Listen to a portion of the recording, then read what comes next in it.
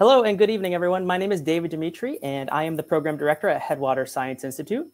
I am very excited to welcome you to our student presentation night for this year's Fall Research Experience program. Now, we've had three exceptional students take part in our program this fall, and I am looking forward to you getting to meet each of them tonight and learn a bit about what they have researched over the past 10 weeks. Now, before we get into tonight's presentations, I just want to let everyone know that these presentations tonight are a great example of what other students can do as part of our upcoming Spring Research Experience program that we will uh, have beginning in January.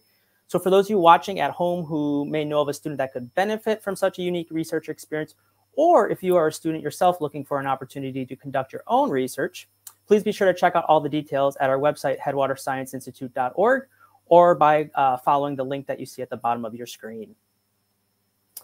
All right, so let's go ahead and we will get into tonight's presentations. For those of you watching at home on Facebook Live or YouTube, we encourage you to share any questions you have for our researchers during their presentation in either the comment or chat features on each site.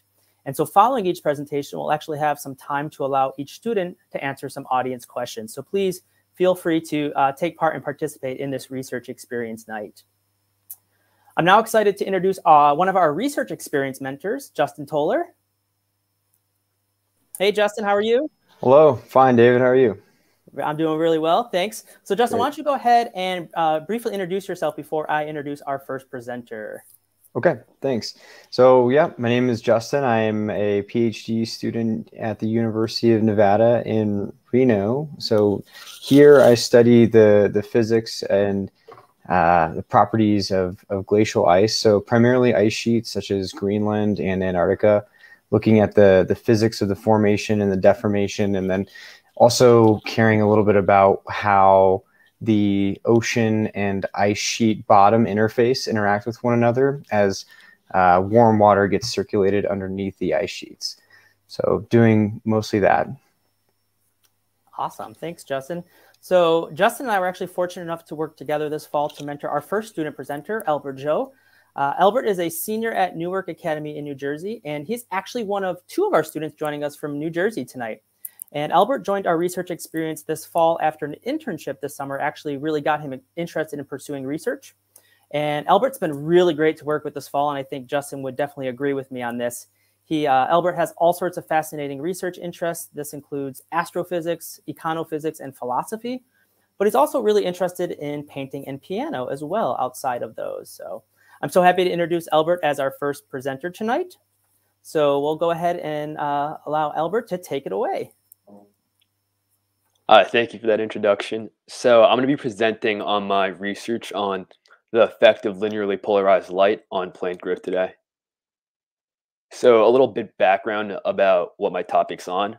So light is actually a type of electromagnetic radiation, which is made up of a magnetic field and electric field as shown in the picture on the right. And when light is passed through a polarizing filter, the light is polarized, in this case linearly. This means that the magnetic field and electric field will be forced to oscillate in a certain orientation. Um, and I was thinking that plant growth is very dependent on photosynthesis, and photosynthesis is uh, based off of light. So I was wondering whether linearly polarized light would affect plant growth, and if so, would it cause plants to grow faster or differently? And I want to conduct my research on this.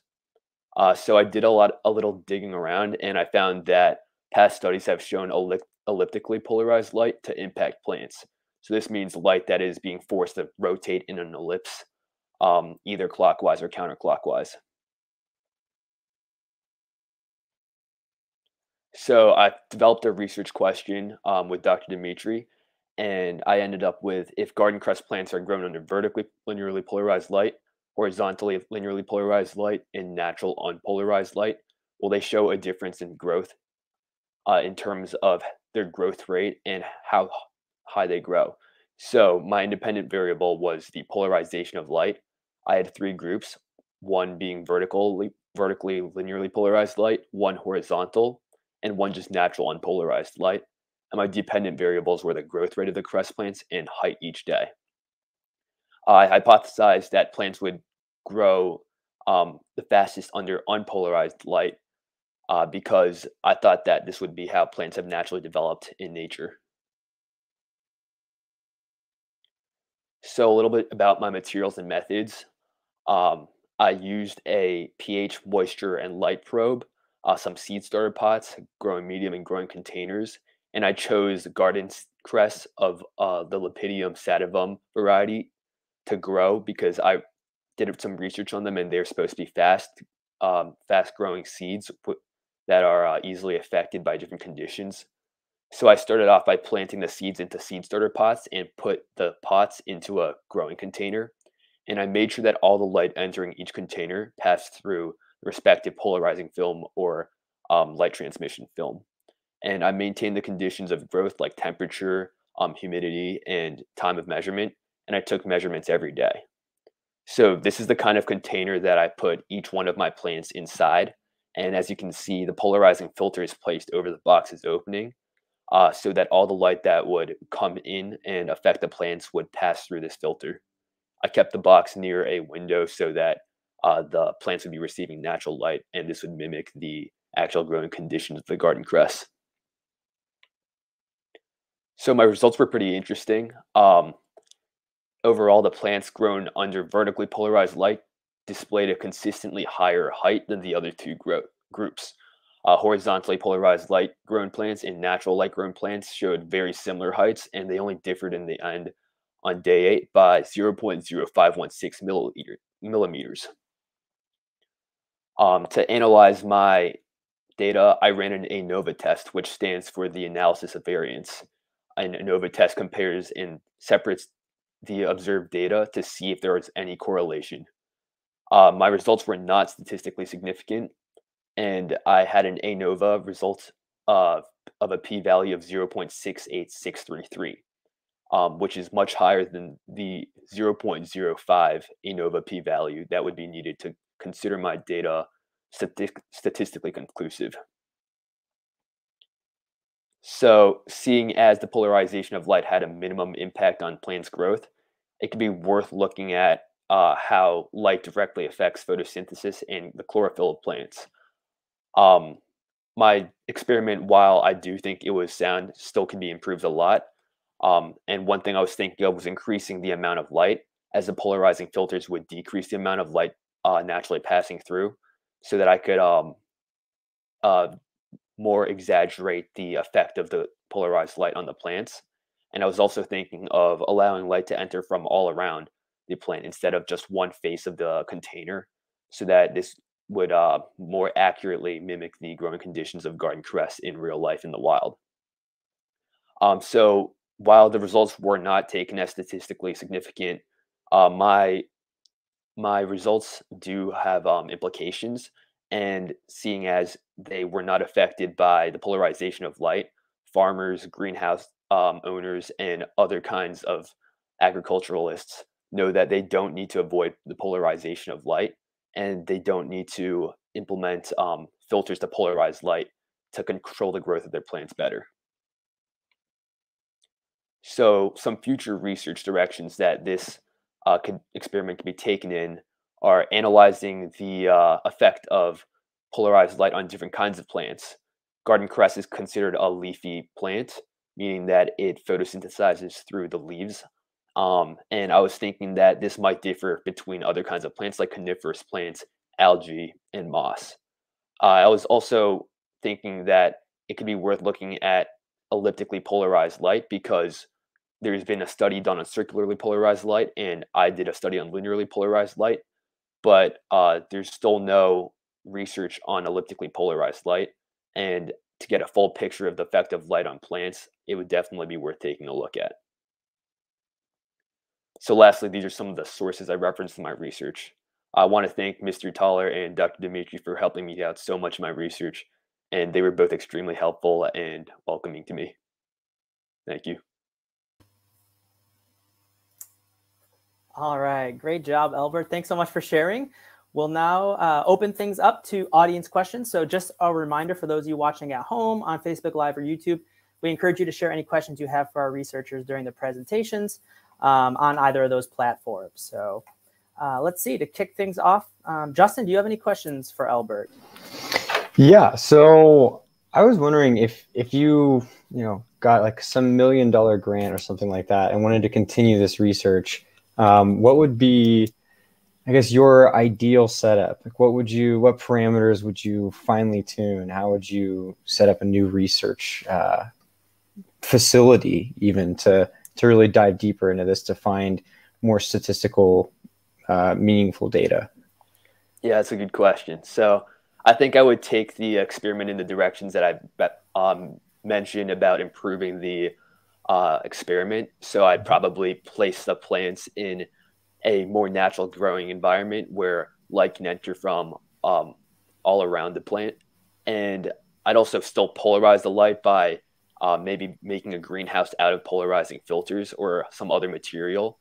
And I'd have inside of my uh, experiment multiple kinds of plants, including coniferous plants and algae and moss, um, in addition to some other leafy plants and trees. And uh, finally, I definitely increase the sample size because one reason why an ANOVA test might not show statistically significant results is because the sample size was too small and the uh, small differences um, in the uh, growth might not have shown up as well in uh, sample size of 27 like I had. Cool. Thank you. Great. All right. We'll take uh, some more questions here. We'll see if we have any coming in uh, from the audience. Oh, there you go. So why did you choose the research topic you did? Yeah. So um, I, I was interested in um, how polarized light affected plants because um, I was thinking about how plants were plants are grown and a lot of their growth is based upon light. And in physics class, I just learned about how light was polarized.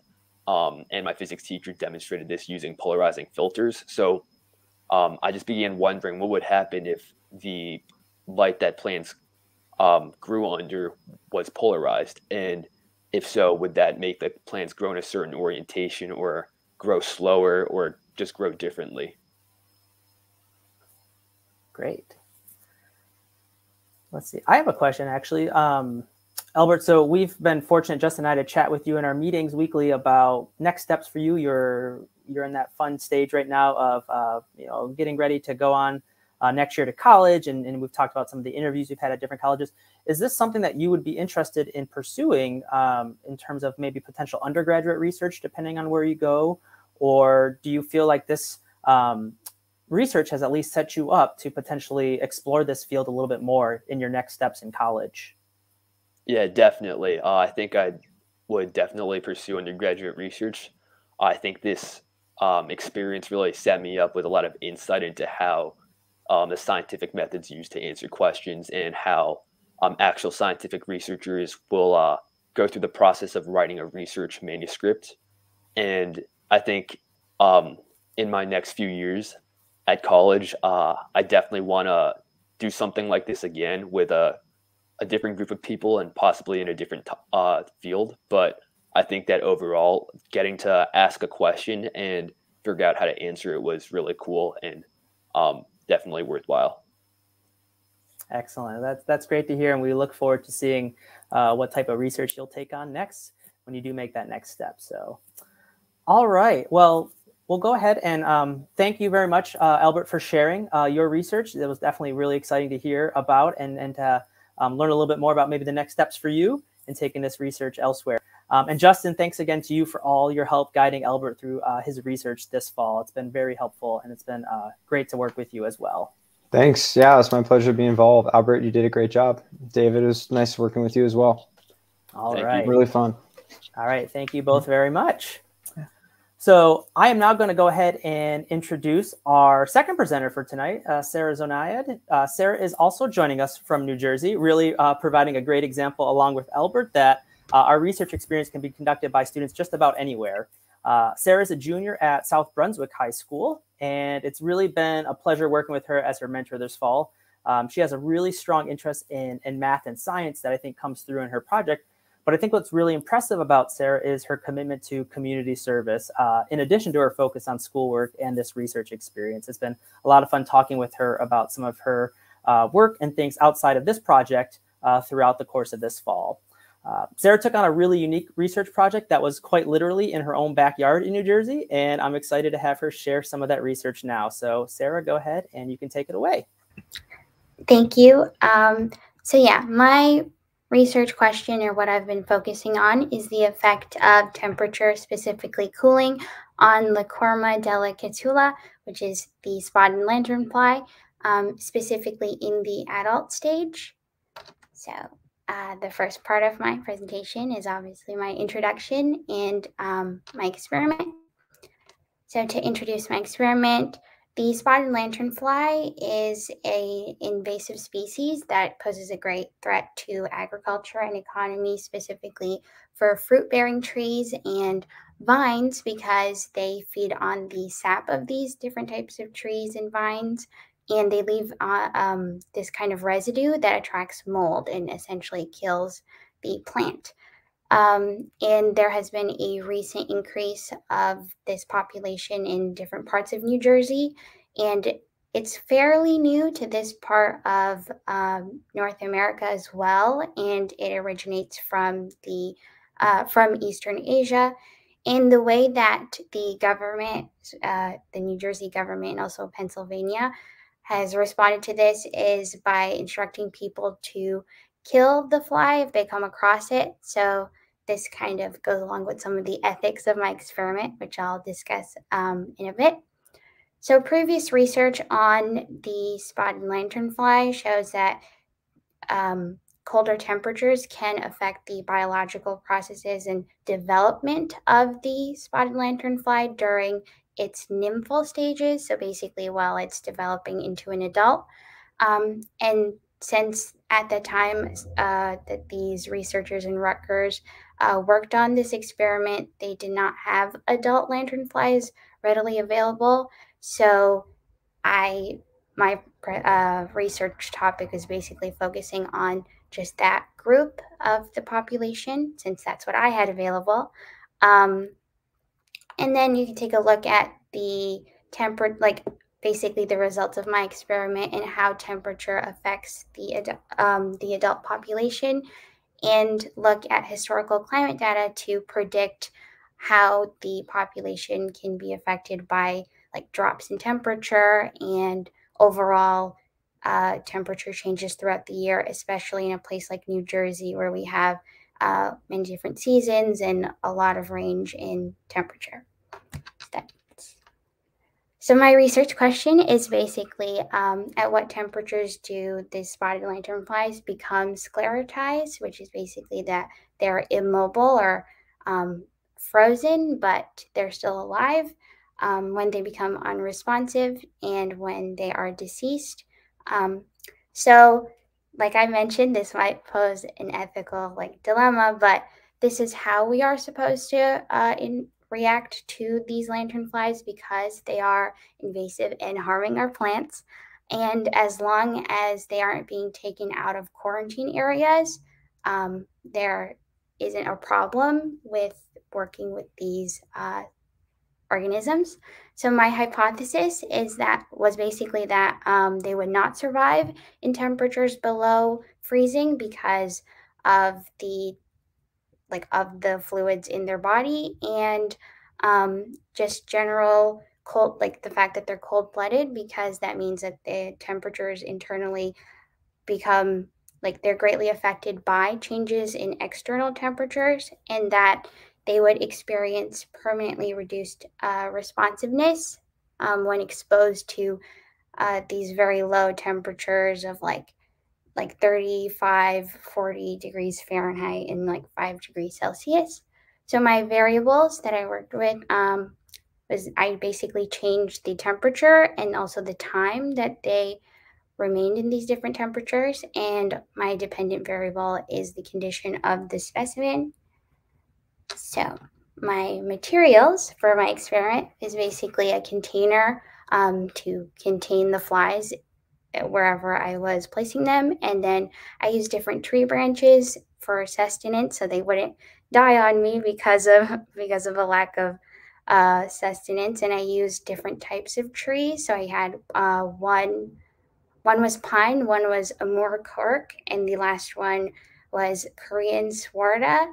And I did that because I didn't I wanted to make sure that um, the specific type of tree branch I used didn't have that much of an impact on my results or didn't change it as much.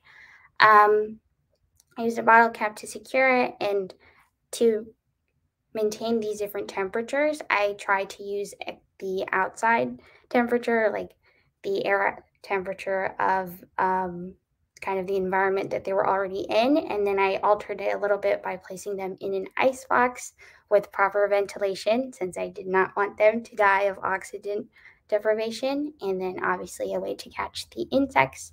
So my method was basically to set up that kind of micro um, environment and then um, check in on the temperature and the condition of the fly. So whether they were responding by very gently prodding them, because the what the reaction is normally to like um, kind of jump and also flutter away. So depending on how they reacted to that gentle prodding, I would determine if they were responsive. And then whether they're mobile is basically if they're moving around or moving their limbs. And then I repeated this depend and changed the temperature and the time. So for my results. Um, so I conducted three trials. So my first trial was more of a uh, was more of a control.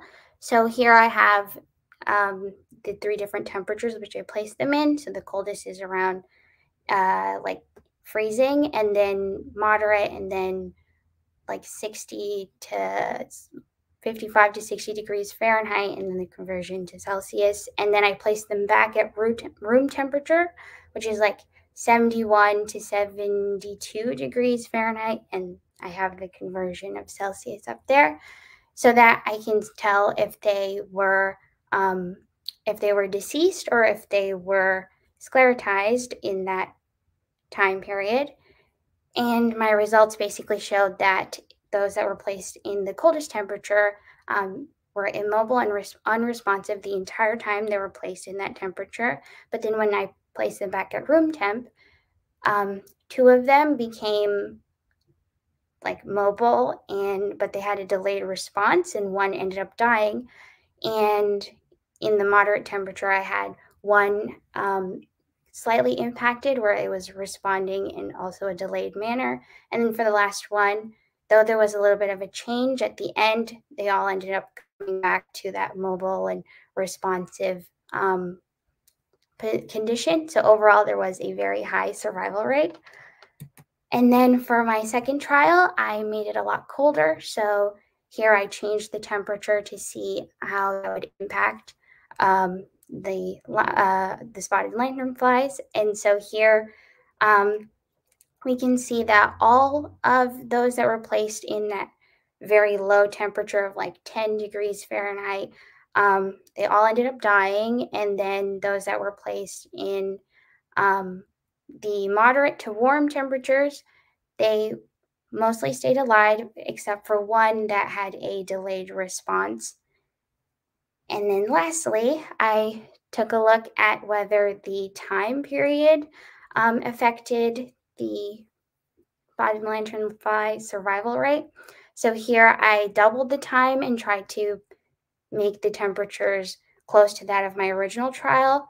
And here we can see that there was almost a 0% survival rate for those placed in the coldest temperature for four hours, and then like a slow change for those that were placed in the moderate um, temperature. But in the end, the results were very similar to trial two, where we had all individuals stay alive for moderate and warm, except for one that became unresponsive but was still moving.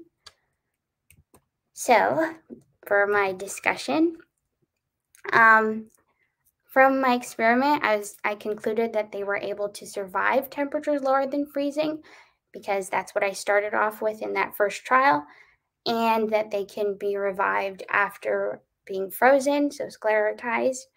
Because when I placed them back at that room temperature, there were two that came back from that frozen immobile state, and one of those actually ended up outliving the rest, including those that were placed in the warm temperature and that the chance of survival decreases as temperature fluctuates since I like the the specimens that I use obviously were experiencing great temperature fluctuations and they all died around 17 to 24 hours after I conducted each of my trials. And I saw this also as I was collecting the flies that in nature that we had like these varying temperatures of around uh, like 60 in the day and around 32, 31 at night. And that the day afterwards, I'd find it very hard to find um, specimens to test. And then finally, significantly decreased chance, um, they have a significantly decreased chance of survival after temperatures being placed at temperatures below negative 13 degrees Celsius and being exposed to temperatures below freezing for a longer period of time, as shown by my last two trials. So, to explain this, I did some more research and found um, some articles about, some like papers about how other types of insects are affected by colder temperatures. So, there was one explaining how, um, especially insects that are freeze intolerant, which I concluded after my experiment um, that the spotted lanternfly could not survive as low temperatures. So here, one possible explanation for that delayed responsivity in those um, in from my experiment for the specimens is the fact that they could have uh, depolarized muscles. So basically, since their muscles and the way they move is kind of dependent on action potentials and um, kind of the electric field inside cells, they tend to become depolarized under these colder temperatures, and I'm I think they fire more, and that's uh, that kind of slows things down. And then another possible explanation for um, why they're not responding or why some of them passed away is possibly changed to their DNA and also the interaction between the cells within. And one main point that I think um, explains a lot is the cellular dehydration. Since when you look at a deceased spotted lanternfly and a live one, the main difference is that the abdomen, the abdomen of the insect shrinks a lot because of that fluid inside is is basically let out and since that's kind of what's circulating and keeping everything warm and regulating homeostasis within the insect. Once that's kind of out of there, it you know can lead to death. So taking a look at New Jersey climate data specifically, um, the range of temperatures is around 25 to 35 degrees Fahrenheit during the winter months. And so I concluded that they can survive these temperatures, but what they can't survive is these greater fluctuations, especially during November and December. So there is a significant decrease in the adult egg bearing population after these couple of months. Um, and for future research, I still have my specimens, so I will be taking their mass and determining if they're, the mass and the gender have an effect on, like, if there's a correlation there.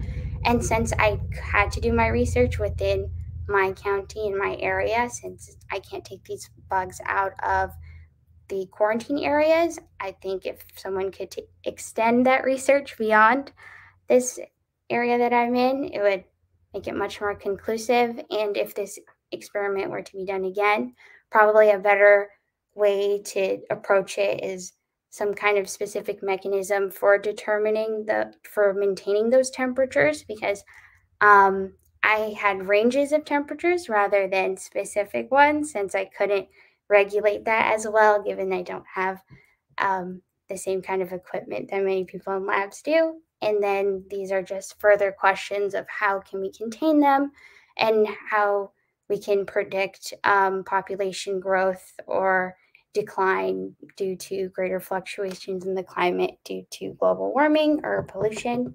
So these are just for like very out there questions. So, um, yeah, this is my work cited, and thank you for listening to my presentation. Uh, have any questions? All right, great job, Sarah. Super exciting to hear all about that research. Um, we'll again open things up to audience questions for those of you watching at home on Facebook Live or YouTube. We'll have time for a question or two. Um, and while we're waiting for potential questions to come in, um, Sarah, I'll start off just asking you, uh, can you tell us maybe a little bit more about what it was like for you to conduct this type of research and kind of thinking about what was the best part of doing this and perhaps what was one of the bigger challenges you had to overcome? So I came across many challenges in this experiment because I am working with organisms that um, go through seasonal changes and different phases of their life. And overall, like temperature controls outside and everything posed a lot of challenges for collecting the blood plugs, uh, collecting the bugs and um, kind of working with them because I had been, I would collect them and they would kind of die on me and I wouldn't know why exactly. So um, I had to kind of walk around that. And then there were times where I couldn't really get a clear idea of what I was researching because I would go out and try to um, kind of determine if like the trees had an impact, if all these different things. And then it's hard to regulate, like, it's hard to maintain uh, specific variables when you're working with something outside because you can't control a lot that goes on in the environment, especially if it's something that you're not around all the time to kind of contain and take a look at. So those were some challenges um, that I came across, and I think I overcame.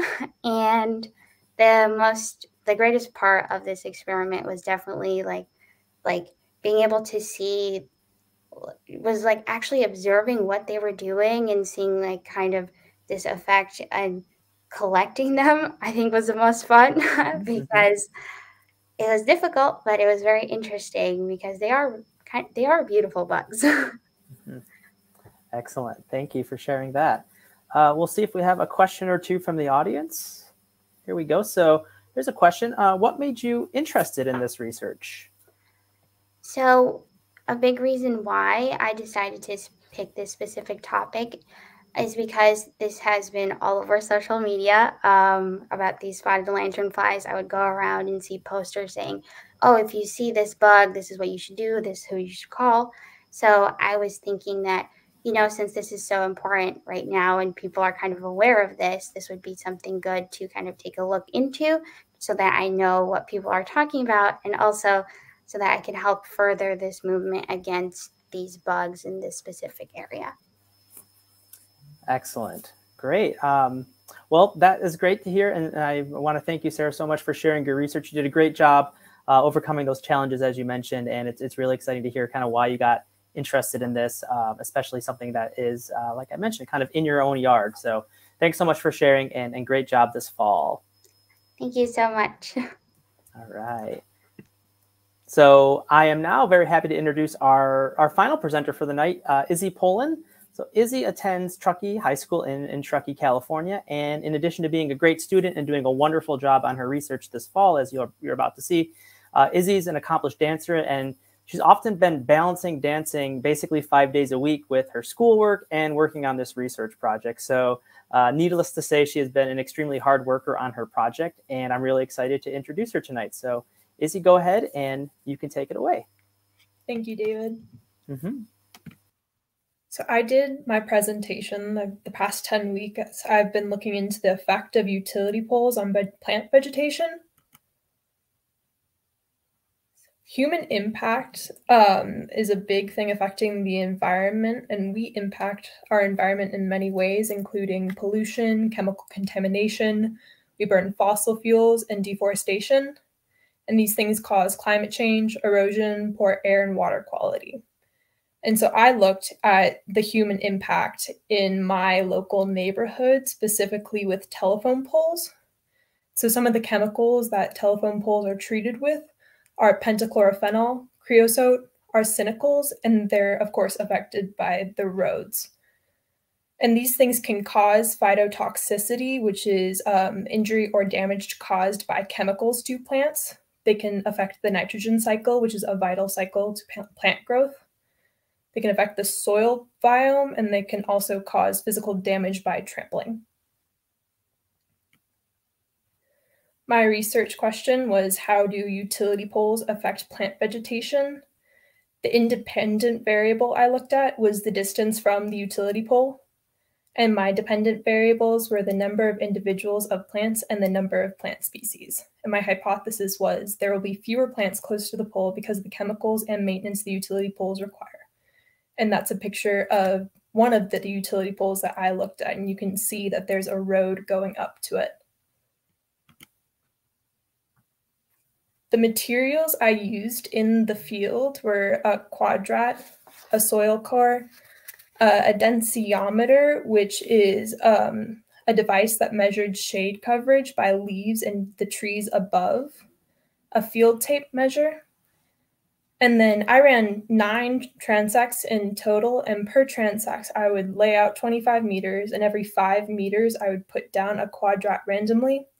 I'd take note of the individuals and the species number within the quadrat, and then I'd take note of how many sections each species took up. And you can see in my lower photo, the quadrat, that's um, squaw carpet in the left corner. And for that, I noted that um, squaw carpet took up five sections of the quadrat in total.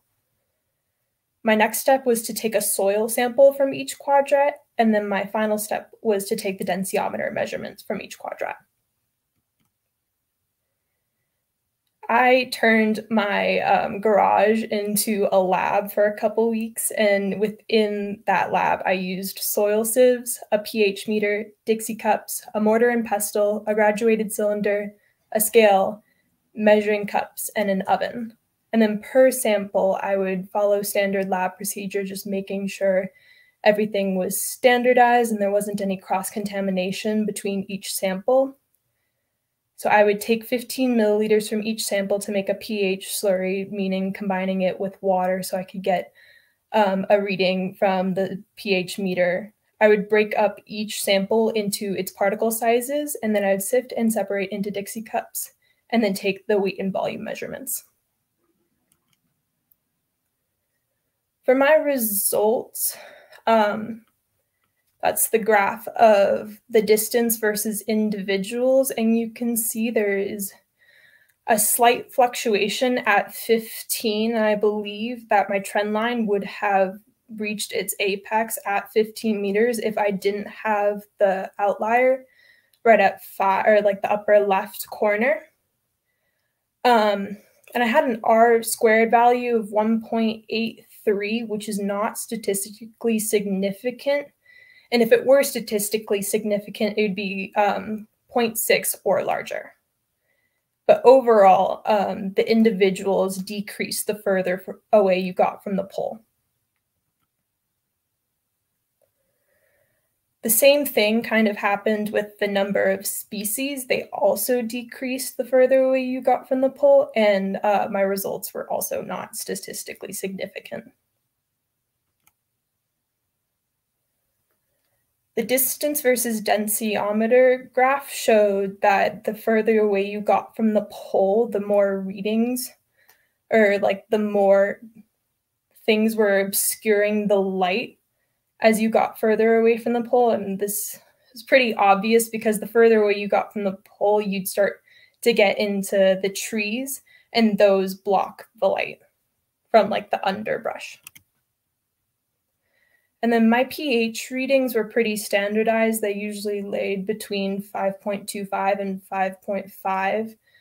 And there wasn't, or the pH at least did not affect my readings or they didn't have an effect on the individuals or the species number. So in the end, the number of plants and the number of species decrease for, uh, further away from the pole.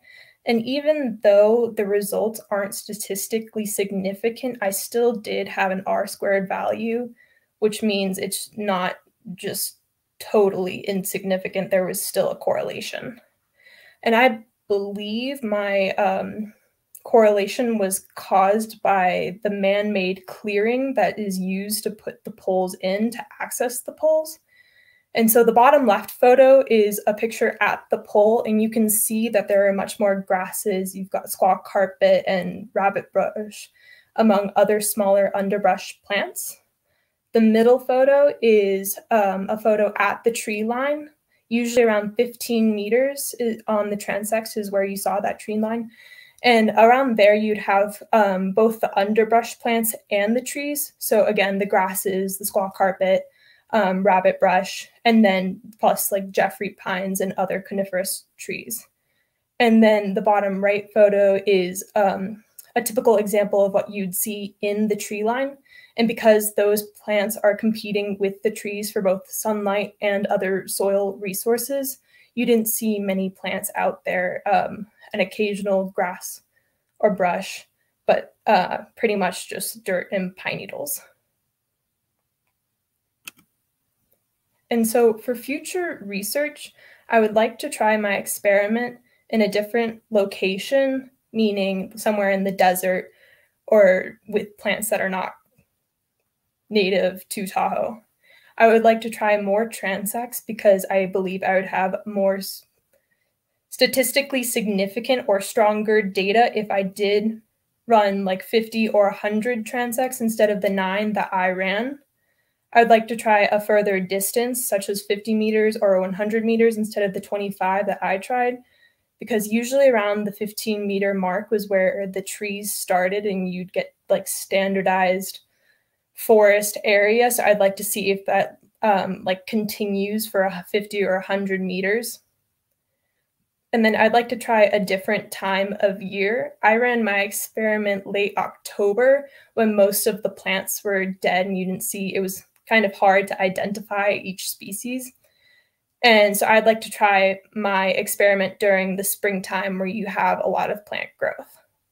And some of the things I think other people can do, or like professional scientists, were um, to test for the chemicals such as the pentachlorophenol or the creosote or arsenicals in the soil to see if um, those chemicals are leaching into the soil by the pole and then also use proper lab equipment to get more accurate results. And there's my works cited slide. Thank you for listening. All right, great job, Izzy. Thanks so much for sharing all about your research. Um, so we'll again open things up to audience questions. And I'll kind of start just by chatting with you a little bit. Um, so one thing that folks may not know is you you kind of um, initially went in with an idea of maybe using um, some some data from local businesses and stuff to, to formulate a project that was um, kind of something that you were interested in to look at effects of um, weather and, and changes in weather to to potential revenue uh, in your local your local neighborhood. Um, you kind of pivoted to this this more field based project, and I'm just wondering if you can comment a little bit more, similar to what Sarah, um, what I asked Sarah about, you know, what was maybe the best part of now getting out and doing this type of field work, um, and maybe what were some of the challenges that you overcame. Um, so I did my data collection day on the day that it rained for a while, like a lot of heavy rain. So it was interesting figuring out like how to keep everything standardized with the rain and how to also not freeze. um, so it took a while to get going and my first transect i think took two hours and then as i got better at it and like started to follow like not or like a standardized process and i was able to start rolling things along more quickly and i went from two hours per transect to like 45 minutes per transect. So it was fun figuring out um, just how to get things moving. Yeah. Yeah well that's good and that's obviously a big uh, component of doing field work is you never know what the weather is going to present when you are scheduled to go out there to collect your data, but you did a great job of, of persevering and, and getting the data collected. So, so well done there. Um, let's see if we have some questions coming in here.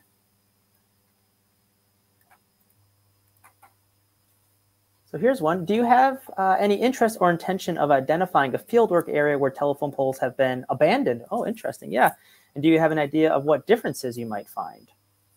Great question. There weren't many abandoned telephone poles that I could find in Truckee. I didn't even think about looking into that. Um, I did, however, read up on um, how like the live wires can release like charges which can affect plants. So I think it would be interesting to see if they're um, if that was affecting the plants at all. And also, I would imagine that if the telephone poles were abandoned, um, the telephone pole companies would not maintain the clearing that they made to um, reach the telephone poles. So there would probably be, or like I'd imagine, there would be a difference in the types of plants you saw. So mm-hmm. I think mm-hmm. that would be a very interesting follow up question. Yeah, excellent. Great question and, and, great answer to that. I think that would be really fascinating to look at kind of how the, the different ages of the, the management or those that have been abandoned may affect uh, your potential results. So great. Maybe we'll have time for one more question. Give a second here for the folks watching. So, okay. So now that you've completed your research project, do you feel that you have a better understanding of what working as a scientist would be like? Yes, I do. Um, actually, the person who lent me their densiometer told me while I was working, because the um, my lab process also took a very long time, mm-hmm. that if you are truly a good scientist, you could do 10 minutes of field work and then eight hours of lab work. So it, that was a very interesting part of it. Yeah, excellent. Yeah, thinking and learning more about what what each aspect of your project can take in terms of time is is part of that learning curve as a scientist and also a, uh, uh, part of the scientific process. So, uh, but again, as I mentioned, you did a great job of of kind of I think taking time management and and, and really um, running with this project uh, for your data collection out in the field, but also that great work that you and the time you put in in the lab back at home. So um, it was cool to see those photos. So, so thanks for sharing a little bit about that too, of you working at home. Um, and also just thanks so much for sharing your research. You did a great job this fall, as our other students did as well. And it's been a lot of fun to, to see your project develop and to get to this point. So, so great job, Izzy. Thanks so much for sharing. Thank you. All right. Well, so that wraps up our student presentation night uh, from this year's Fall Research Experience program. And I certainly want to thank all three of our researchers for their hard work throughout the entire fall program. We're really proud of all the hard work you put in over the past 10 weeks. And I think everyone watching at home would definitely agree with that. Um, you've each put together your own unique research project this fall, and it's been really great to work with each of you as you've completed this research. So for those of you who are watching, um, who still may have a question for any of our presenters, please uh, be sure you can drop those in the comments section on either YouTube or Facebook, wherever you're watching along, and we'll be sure that those get forwarded to the students so that they can answer those as well. And again, if you are interested as a student or know of a student who may be interested in joining us, again, beginning this January for our upcoming spring research experience, please be sure to head over to our website, headwatersscienceinstitute.org, or check out the link below to get more details. All right, well, finally, I just want to give a big thank you to all of you out there watching and, and for supporting our researchers tonight. Hope you all have a great night, and we'll talk to you soon. Good night.